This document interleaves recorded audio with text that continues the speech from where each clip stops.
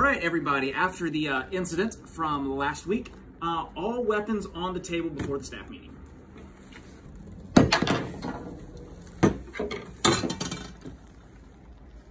Now that we have that out of the way,